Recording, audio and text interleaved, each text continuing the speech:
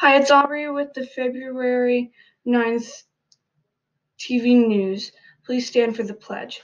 I pledge allegiance to the flag of the United States of America and to the republic for which it stands, one nation, under God, indivisible, with liberty and justice for all. Have a good day, DSMS.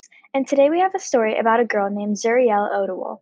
Zuriel is an education advocate for girls in Africa and a self taught filmmaker. She has interviewed 30 heads of state, created seven documentaries, and continues to advocate for young women, all by the age of the young age of 17. That's all for now, DSMS. Have a good day.